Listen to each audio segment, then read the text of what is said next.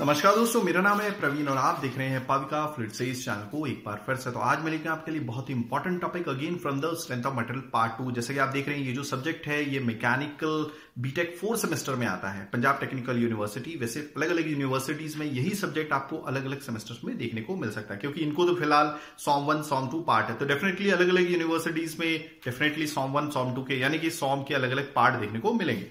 तो आज का जो टॉपिक आज हम बात करने वाले this is the effect of joint efficiency आपको मालूम है कोई भी प्रेशर वेसल है जब भी किसी कंपनी को एक बड़ा ऑर्डर मिलता है कि भाई प्रेशर वेसल बनाना है तो सबसे पूछ, पहले पूछा जाएगा क्वेश्चन कि भाई कितने वॉल्यूम का प्रेशर वेसल चाहिए? एक KL, two KL, three KL, five KL, even ten ten KL के प्रेशर वेसल्स होते हैं, जिसमें रिएक्शंस किए जाते हैं, या फिर कोई गैस को अंडर स्टोर किया जाता है, ठीक है? अगर आपने देखा होगा डेफिनेटली प्रेशर वेसल कुछ इस तरह से दिखती है। ये बड़ी सी प्रेशर वेसल है, ठीक है? अगर मेरी सपोज़ कंपनी है, मैं केमिकल इंजीनियर हूँ, ठीक है? तो मुझे किस लिए चाहिए प्रेशर वेसल रिएक्शन करने के लिए। सपोज़ ए एक ए मटेरियल डाला, दूसरा बी मटेरियल डाला, और इसको मैं स्टर करूँगा। सिंपल है। तो इसका वॉल्यूम कितना है? फाइव केएल इवन मेरी खुद की कंपनी में पाँच केएल का रिएक्टर था ठीक है? तो हम इसमें क्या देख रहे हैं? तो ये जो प्रेशर वेसल है ये कोई ऐसी नहीं बन गई है ठीक है? समझ में आ रहा है? इतना बड़ा प्रेशर वेसल कोई आप ऐसा नहीं कि आप सीमलेस ट्यूब लेके आए सीमलेस मतलब एक ऐसी पाइप लेके आए जिसमें कोई भी जॉइंट नहीं है और उसको बराबर आ, क्या बोलते हैं आपने प्रेशर वेसल बना दिया। तो आप कभी सोच सकते हैं कि इतनी बड़ी प्रेशर वेसल सिर्फ़ यानी कि ऐसी बन जाएगी उसको काफ़ी जगह से जोड़ना पड़ेगा मतलब एक यहाँ से जोड़ना पड़ेगा एक यहाँ से जोड़ना पड़ेगा, ठीक है? और ये जो बीच का सिलेंड्रिकल शेप है, ये कोई बना बनाया थोड़ी ना मिल जाएगा, ठीक है? सबसे पहले एक सिंपल सी एक प्लेट आती है, बड़ी सी स्टेनलेस स्टील की। सपोज़ मेरा requirement stainless steel pressure vessel का है। तो कंपनी में एक स्टेनलेस स्टील की प्लेट आती है, ठीक है? आई होप आपको चीज़ें समझ में आ गई होंगी, ठीक है? एक प्लेट आती है स्टेनलेस स्टील की ओके okay. अब इसको कर्व करके प्रॉपर सिलेंडर का शेप दिया जाता है। सिलेंडर का शेप देने के बाद फिर एक जगह होता है जहाँ से हमें वेल्डिंग करनी। मान लीजिए यहाँ से वेल्डिंग करनी तो मैं यहाँ से वेल्डिंग करूँगा, ठीक है? ये हो गया। तो आज हम देखने वाले हैं कि जॉइंट एफिशिएंसी अगर वेल्डिंग करते हैं तो उसकी वजह से उसकी कुछ एफिशिएंसी भी होती है जॉइंट एफिशिएंसी ठीक है? तो उसकी वजह से क्या इफ़ेक्ट पड़ता है आपके स्ट्रेसेस की वैल्यू पे या फिर थिकनेस की वैल्यू पे, ठीक है? बट आगे बढ़ने से पहले, अगर आपने मेरा चैनल सब्सक्राइब नहीं किया तो प्लीज़ आपसे बहुत बड़ी सी रिक्वेस्ट कि आप मेरा चैनल सब्सक्राइब कीजिए लाइक एंड चेक मत भूलिएगा तक मैं ऐसी एजुकेशन वीडियोस आपके लिए हमेशा हर पल लिखे आता हूँ। और इसी वीडियो के डिस्क्रिप्शन बॉक्स में अगर आप देखेंगे तो आपको लिंक मिलेगा जहाँ से आप इसी चैप्टर यानी कि जो हमारा चैप्टर का नाम है डिज़ाइन ऑफ़ प्रेशर वेसल या फिर प्रेशर वेसल्स के जो भी तमाम टॉपिक्स यूनिवर्सिटी क्वेश्चंस सब कुछ आपको इवन सॉल्व डेरिवेशन आपको सब कुछ आप डाउनलोड कर सकते हैं और दूसरे फ्रेंड्स को जो भी आपके केमिकल इंजीनियरिंग या मैकेनिकल इंजीनियरिंग पढ़ रहे होंगे, क्योंकि दो, ये चैप्टर दोनों में आता है प्रेशर वेसल्स का दैट इज़ यहाँ पे design of pressure vessel chemical engineering भी पढ़ते हैं, के स्टूडेंट भी पढ़ते हैं या फिर मैकेनिकल इंजीनियरिंग के स्टूडेंट भी पढ़ते हैं, आप सबको बताइएगा, ठीक है, आप शेयर कीजिएगा जितना हो सके। और आई दिन काफ़ी सारे कमेंट्स आते हैं कि सर आपकी वजह से हमारा क्या बोलते हैं फ्लड मैकेनिक्स फ्लड मशीन्स में बहुत अच्छे मार्क्स आए तो थैंक्स फॉर दिस ये सब आप ही की वजह से तभी मुझे एक तरह से मोटिवेशन मिलता है कि मैं ये सारे वीडियोस आपके लिए लेके आऊँ ठीक है?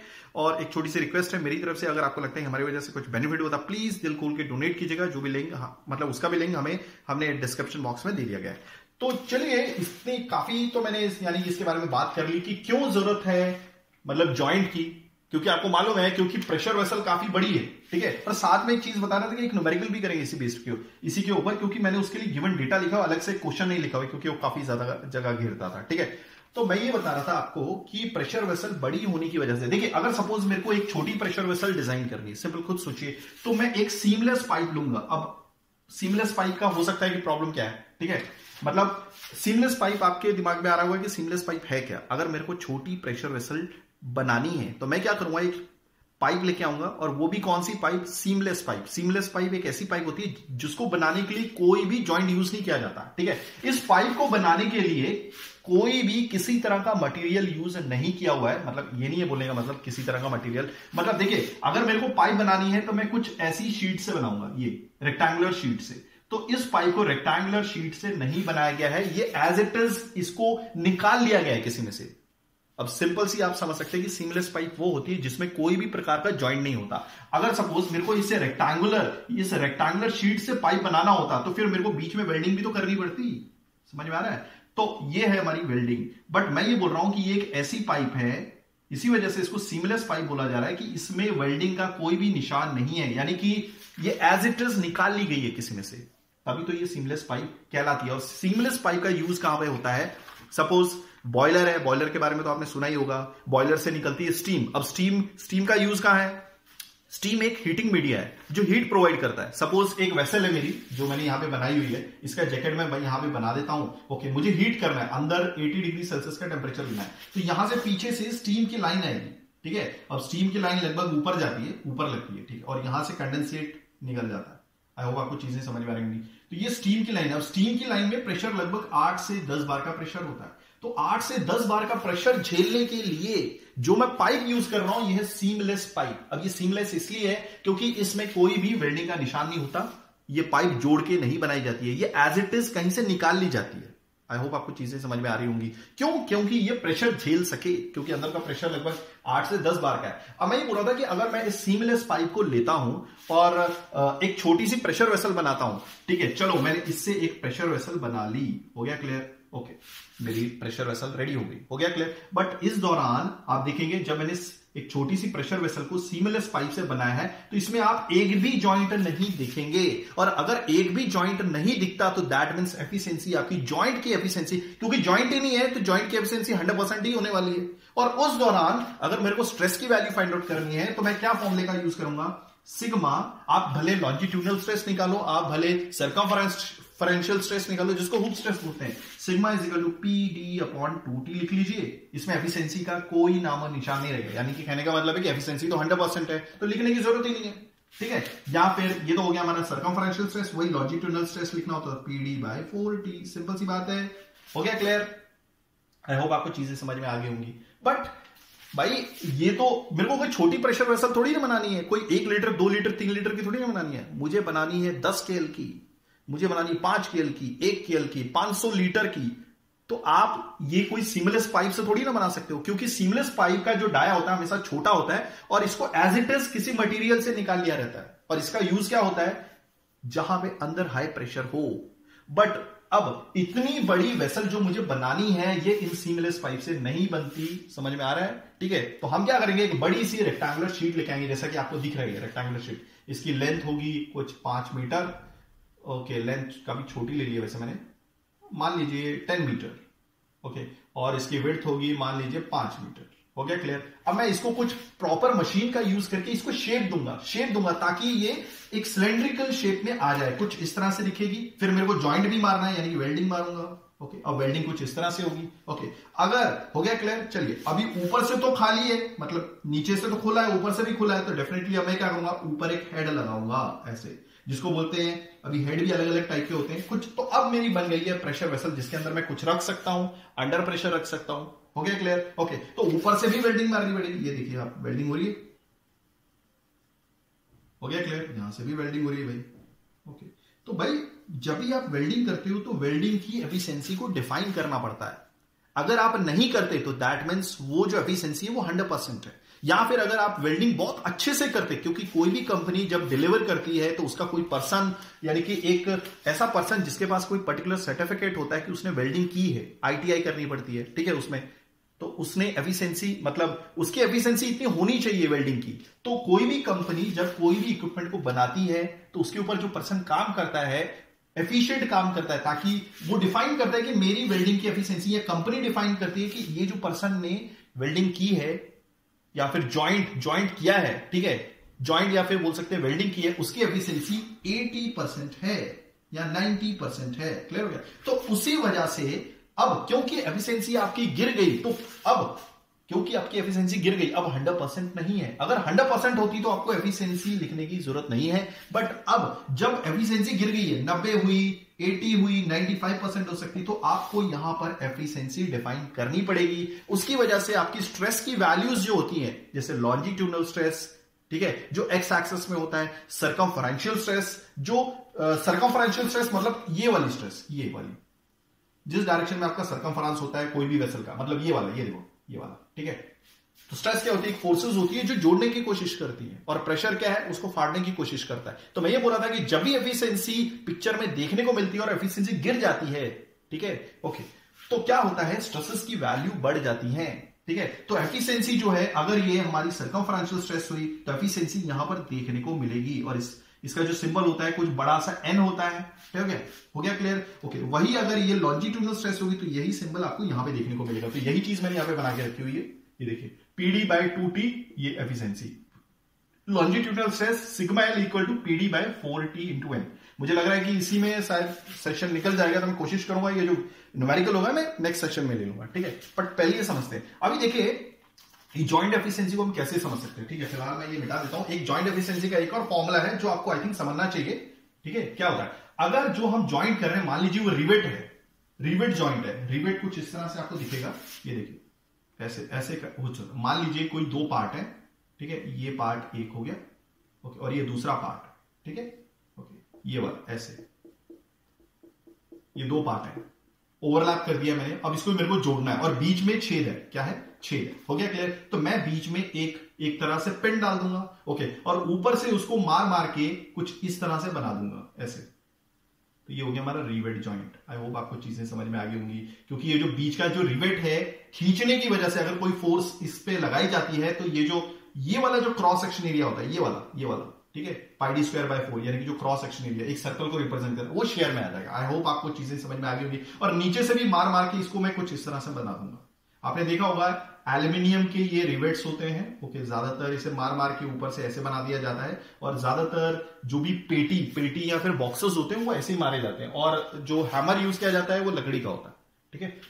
ताकि इस तरह का ज्वाइंट पैदा हो जाए, कुछ इस तरह से होगा, अगर मैं अच्छे से इसको ड्रॉ कर दूँगा तो। ओके तो अब अब देखिए तो ये हमारी, मान लीजिए एक प्लेट है, ओके, उसके बीच में रिवेट्स लगे हुए हैं, ये एक और ये एक। और जो सेंटर टू सेंटर का डिस्टेंस होता है, इसको बोलते हैं पिच ठीक है? बुकों में ज़्यादातर ये फॉर्मुला दिया होता है।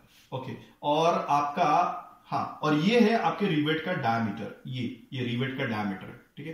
रिवेट का डायमीटर रिवेट डायमीटर ओके तो ये जो परसेंट एफिशिएंसी होती है परसेंट जॉइंट एफिशिएंसी मैं एक अपने फॉर्मूले से आपको बताऊँगा कि क्या मतलब है इसका, ठीक है? परसेंट जॉइंट एफिशिएंसी कैसे लिखी जा सकती है? Okay pitch minus rivet diameter upon pitch. ठीक है? यही है हाँ यही ओके तो ये एक तरह का रेशियो है। बस मल्टीप्लाई बाय हंड्रेड नहीं किया हुआ। अगर मल्टीप्लाई बाय हंड्रेड करोगे तो परसेंट यानी कि जो परसेंट एफिशिएंसी होती है वो हंड्रेड परसेंट से ज़्यादा नहीं होगी। तो क्या होगी? अगर ये फ्रैक्शन है, देखिए ये तो एक तरह का फ्रैक्शन ही है, ठीक है? बट अगर इसे मल्टीप्लाई में हंड्रेड कर दी जाए सपोज़ इसकी वैल्यू निकल के आती है पॉइंट एट ठीक है? पॉइंट एट तो मल्टीप्लाई अगर हंड्रेड करोगे तो ये एटी परसेंट जॉइंट एफिशिएंसी हो जाएगी, ठीक है? मतलब आप क्या कर रहे हो? पिच मतलब यहाँ से लेकर सेंटर टू सेंटर डिस्टेंस जो है आपके किसका? रिविट का। उसमें से डायमीटर को माइनस कर रहे हो। डायमीटर मतलब देखिए, ध्यान से देखिएगा। डायमीटर को माइनस करना है मतलब एक्चुअली में आप इस राइवट का, इस रिवेट का रेडियस माइनस कर रहे हो और इस रिवेट रिवेट का भी रेडियस माइनस कर रहे हो। तो यानी कि पूरे में से एक बार ये माइनस कर रहे हो और इसी पूरे में से एक बार ये माइनस कर रहे हो। तो दैट मीन्स ये वाला वो डिस्टेंस पता, निकलता है बस, ये वाला ये वाला। ये मतलब यहाँ से लेकर यहाँ तक का डिस्टेंस निकलता है। तो ये जो डिस्टेंस है बीच वाला यहाँ से लेकर यहाँ तक, ये एक पार्ट है पूरे डिस्टेंस का और पूरा डिस्टेंस क्या आपका पिच है। तो ये एक तरह का रेशियो ही बताता है। बट इसको ज़्यादा बेहतर हम समझेंगे यहाँ पर। अभी देखिए, ध्यान से देखिएगा। अब मैं एक चीज़ आपको बताने की कोशिश कर रहा था, अभी मैंने काफ़ी कुछ लिख दिया यहाँ पर तो फ़िलहाल इसको मिटा देता हूँ ताकि थोड़ा सा स्पेस खाली हो जाए, ताकि हम इसे समझें। ठीक है? Let me check everything is working fine तो आइडिया काफ़ी अच्छा था तो मुझे लगा कि इसको लेके आना चाहिए, क्योंकि ये चीज़ रह गई ज़रूर। ओके अब देखिए, यही जॉइंट एफिशिएंसी हम कैसे समझ सकते हैं, ठीक है? याद रखिएगा, जो स्ट्रेस है, वो लॉन्जिट्यूनल स्ट्रेस भी हो सकती है, या फिर सरकमफरेंशियल जिसका नाम, दूसरा नाम हुप स्ट्रेस भी है। ठीक है, आप कुछ भी समझ लीजिए। आप चाहे तो लॉन्जिट्यूनल स्ट्रेस समझिए, या फिर हुप स्ट्रेस समझिए। ठीक है, ये दोनों के लिए एप्लीकेबल है। ओके हाँ अब ये जो सिग्मा है, ये सिग्मा मान लीजिए हुप स्ट्रेस है, हो गया क्लियर ये भी सिग्मा टोटल भी हुप स्ट्रेस है ओके तो दोनों को अगर हम डिवाइड करते हैं तो निकल के आता है परसेंट एफिशिएंसी ठीक है? मल्टीप्लाई बाय हंड्रेड कर दिया, ये समझने की बात है ओके दैट मीन्स अगर मैं परसेंट एफिशिएंसी की बात कर रहा हूँ तो देखिए एफिशिएंसी कभी भी हंड्रेड परसेंट से ज़्यादा नहीं हो सकती और ज़ीरो से ऊपर होगी, हो गया क्लियर दैट मीन्स ये जो सिग्मा है हमने क्या कंसिडर किया था? सर्कमफरेंशियल स्ट्रेस या हुप स्ट्रेस ये जो सिग्मा है, मान लीजिए, अब मैं इसको काम करता हूँ, लिखी देता हूँ ना हुप स्ट्रेस हुप स्ट्रेस का मतलब सर्कमफरेंशियल स्ट्रेस है। और ये सिग्मा टोटल हाँ टोटल हुप स्ट्रेस है, ठीक है? अब याद रखिएगा, ये वैल्यू बड़ी है। ये वैल्यू बड़ी है और ये वैल्यू छोटी है। या फिर ये दोनों वैल्यू बराबर हो सकती है हो गया क्लियर क्योंकि ये नीचे है, क्योंकि मैं परसेंट एफिशिएंसी कैलकुलेट कर रहा हूँ तो सिग्मा टोटल बड़ी हो सकती है, या फिर वो इसके बराबर हो सकती है। तो कहने का मतलब है सिग्मा एच जो है, या फिर बराबर हो सकता है सिग्मा टोटल के, या फिर उससे कम होगा। तो डेफिनेटली एफिशिएंसी आपकी ज़ीरो से ऊपर होगी।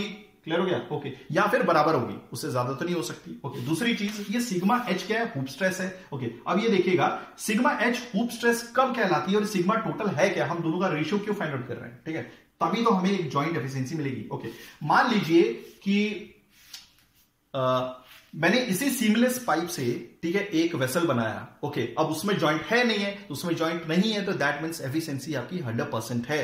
ये भी आप कंसिडर कर सकते हो। या फिर एक पर्सन ने वेल्डिंग करके ही क्या बोलते हैं प्रेशर वेसल बनाई ठीक है? बट उसकी एफिशिएंसी हंड्रेड परसेंट है। वो बोल रहा है कि मेरी एफिशिएंसी हंड्रेड परसेंट और चेक भी की गई हंड्रेड परसेंट है। तो ये उसकी वैल्यू तो उस दौरान पैदा होने वाला आपका सरकमफ्रेंशियल स्ट्रेस या हुप स्ट्रेस की ये वैल्यू होती है। अभी थोड़ी देर के लिए समझ आते हैं, ठीक है? क्यों?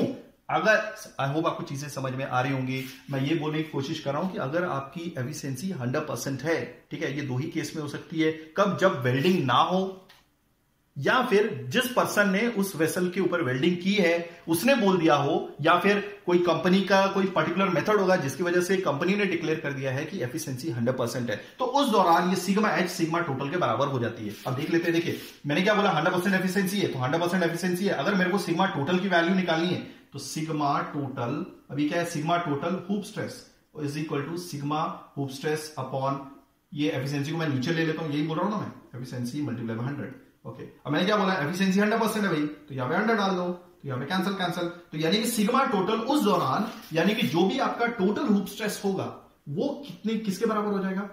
हुप स्ट्रेस के बराबर हो जाएगा। यानी कि कहने का मतलब होगा, अगर कोई भी वेसल में आपकी वेल्डिंग नहीं है, या फिर कंपनी ने लिख के बोल दिया कि जो हमने वेल्डिंग की है, वो एकदम फुल प्रूफ है, उसमें कोई एफिशिएंसी मीन कोई भी फ्लॉ नहीं है, उसमें जरा भी लीकेज नहीं है, यानी कि एफिशिएंसी हंड्रेड परसेंट है तो दैट मीन्स उसमें पैदा होने वाली जो आपकी सर्कमफ्रेंशियल या फिर हुप स्ट्रेस है, जिसका नाम है वो बराबर हो जाएँगी। हो गया क्लियर बट अगर किसी वजह से एफिशिएंसी गिर जाती है, क्योंकि कोई भी कंपनी 100 परसेंट एफिशिएंसी क्लेम नहीं कर सकती, वो 90 95 परसेंट हो सकती है 80 90 परसेंट हो सकती है, ठीक है? तो उस दौरान आपकी सिग्मा टोटल की वैल्यू बढ़ जाती है। क्लियर हो गया? सिग्मा टोटल की वैल्यू बढ़ जाती है। किसके कंपैरिजन में? इसके सिग्मा एच के कंपैरिजन में, ठीक है? तो आप देख लीजिए, अगर 90 परसेंट है, अगर 90 परसेंट है तो मैं यहाँ पे लिख देता हूँ। देखिए नाइनटी परसेंट यहाँ पे लिखा, ओके। सिग्मा एच अपॉन क्या बोलते हैं? हाँ sigma total multiply by hundred हो गया क्लियर ओके तो मैं क्या करूँगा? तो sigma total is equal to sigma H by ninety multiply by hundred okay अब मान लीजिए सिग्मा एच की वैल्यू 50 आ रही होगी, ठीक है? सिग्मा एच की। देखिए, सिग्मा एच की वैल्यू 50 तब आएगी जब कोई भी आपका जॉइंट नहीं होगा, यानी कि एफिशिएंसी 100 परसेंट होगी। क्लियर ओके तो मान लीजिए 50 है तो इस, ठीक है? तो मैं यहाँ पे क्या करता हूँ डिवाइड बाय 90 करता हूँ मल्टीप्लाई बाय 100 करता हूँ। तो जो अब जॉइंट के बाद देखिए ये जो टोटल आ रहा है ना ये जॉइंट के बाद आपकी हुप स्ट्रेस है और जॉइंट के बाद हुप स्ट्रेस की वैल्यू बढ़ जाती है। तो मैं यही बोलने की कोशिश कर रहा हूँ कि आपकी कोई भी प्रेशर वेसल जब आप ज्वाइंट कर देते हो एक बड़ी प्रेशर वेसल को बनाने में बहुत सारे ज्वाइंट होते हैं ठीक है? उस ज्वाइंट को आ, क्या कहने का मतलब सिर्फ़ इतना ही है मेरा कि जब कोई भी बड़ी प्रेशर वेसल को कोई भी कंपनी ज्वाइंट से बनाती है तो उस दौरान जो स्ट्रेसेस की वैल्यू होती है वो ज़्यादा होती है। हो गया क्लियर तो ये एक समझाने का तरीका था आपका। ये वो वैल्यू है आपके स्ट्रेस की वैल्यू ये लॉन्जिट्यूनल स्ट्रेस भी हो सकती है हुप स्ट्रेस भी हो सकती है बट ये वो वैल्यू है जब आपकी उस प्रेशर वेसल पे कोई भी क्या बोलते हैं वेल्डिंग नहीं है ठीक है? बट ऐसा तो पॉसिबल नहीं है क्योंकि कंपनी अगर इतनी बड़ी प्रेशर वेसल बनाएगी तो डेफिनेटली वेल्डिंग देखने को मिलेगी। ओके okay, तो अगर वेल्डिंग देखने को मिलती है तो उसकी एफिशिएंसी जो भी है उसको डिफाइन करना पड़ेगा कि 80 परसेंट है 90 परसेंट है। तो मेरा ये क्वेश्चन था मतलब मेरा यह आंसर था कि अगर एफिशिएंसी गिर जाती है तो पैदा होने वाली जो स्ट्रेसेस की वैल्यू होंगी वो ज़्यादा होंगी। हो गया क्लियर ओके तो अब आप देख लीजिए खुद ही कि पहले सिर्फ़ 50 आ रहा था 50 आ रहा था। अगर आप इसको डिवाइड करेंगे आ, क्या बोलते हैं कितना आ रहा है भाई ये? एक काम करता हूँ मेरे पास कैलकुलेटर नहीं है मैं कैलकुलेटर ले लेता हूँ। मेरे पास कैलकुलेटर होगा यहाँ पे। हाँ कैलकुलेटर मिल गया मेरे को मैं देख लेता हूँ ठीक है?